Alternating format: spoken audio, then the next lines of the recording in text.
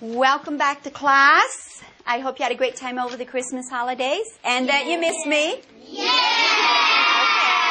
Okay. And you're ready to get back to work? Boo! Oh, well, to start the new year, I have a video to show you called The Wild Llamas of Peru.